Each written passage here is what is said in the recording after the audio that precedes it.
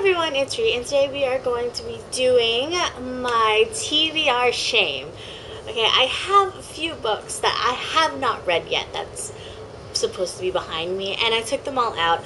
Um, it's not as bad as most people I've seen on their TBR Shame, but I would like to let it all out and see, and hopefully this will persuade me to read the rest of my books on my TBR Shame. This is only my physical books that I have and not the books on my Kindle or my iPad. So um, let's just get started. I have a few books and I hopefully will put like a little number doohickey somewhere on the bottom and that will tally it all up. I'm not exactly sure how many books. I, I think it's under 50. So let's just get started. The first one is One for the Money by Janet Ivan. Blue Christmas by Mary Kay Andrews. My Sister's Keeper by Jodi Picoult. Rules for Becoming a Legend by Timothy S. S. Lane. Next pile. Pleasure Unbound. Pleasure Unleashed. Pleasure Unchained, or no, Desire Unchained. Um, by Larissa Ione.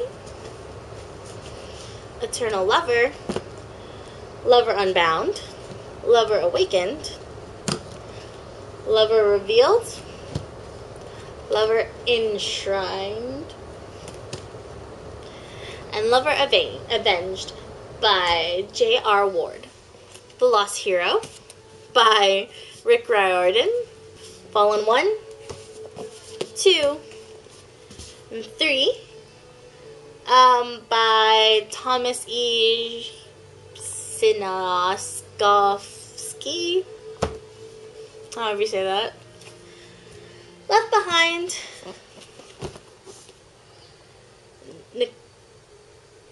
Nicolae. And Tribulation Force by Tim LaHaye and Jerry B. Jenkins. Hush Hush by Becca Fitzpatrick, Pretty Little Liars, and Flawless by Sara Shepard, Deep and Dark and Dangerous, All the Lovely Bad Ones, and Wait Till Helen Comes by Mary Downing Hahn. Han? Hi, hi, no, no. And my last book of my TBR shame pile is The Fountain Creek Chronicles by Tamera Alexander. Right, and that is it. Actually, this is a bind. Sorry, this is a bind up of three books, so I guess I'm gonna count it as three books. So yeah, um, I'm not exactly sure how many books that is. We're just gonna flash it up here. Um, but hopefully you guys enjoyed this video. I hope you guys liked it. Um, hopefully I will not have this many books next time. But I hope you guys enjoyed it, and I will see you guys next time.